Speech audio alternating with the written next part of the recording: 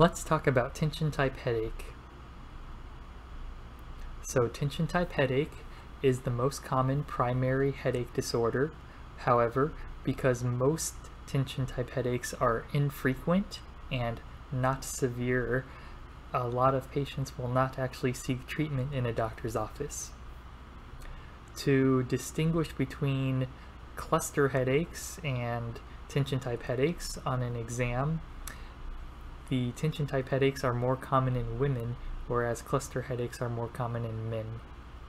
The headaches are typically known as featureless, meaning there's not really any autonomic symptoms and no nausea or vomiting.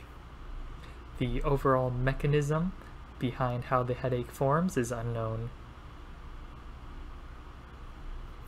So the main clinical features to pay attention to are ones that will help you distinguish between tension type headache and migraine. So tension type headaches are usually more bilateral headaches. The pain is squeezing or tightening pain and specifically not really pulsatile. The pain is more mild or moderate intensity compared to migraines, which can be more severe. And notably, in contrast to migraines, tension type headaches are not worsened by physical activity.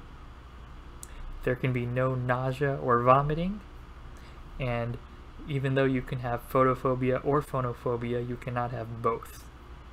The only abnormal feature on physical exam should be that there can be muscle tenderness on the muscles of the head, neck, and shoulders.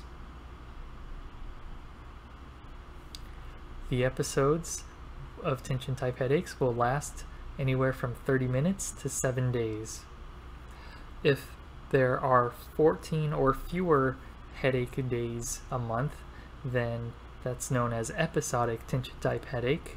And if there are 15 or more headaches, headache days a month, then that's known as chronic tension type headache.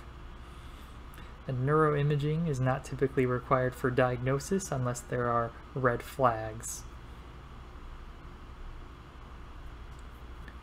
For acute abortive treatment, NSAIDs are the treatment of choice, specifically ibuprofen and naproxen, and that is specifically because you want to reduce the chance of causing the side effect of medication overuse headache. Aspirin can also be used and acetaminophen can be used as well. If monotherapy with any of the above are ineffective, then caffeine can be added on as a uh, adjunctive medication.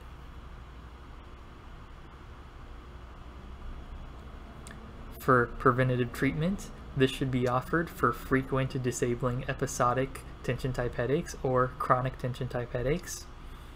Amitriptyline is considered the medication of choice and is first line. Uh, sometimes other tricyclic antidepressants can be used. Other choices to consider can include SNRIs, gabapentin, and topiramate.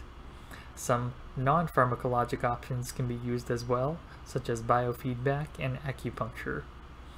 Lastly, identifying and helping the patient manage triggers just as stress can really help them reduce the severity of their headaches.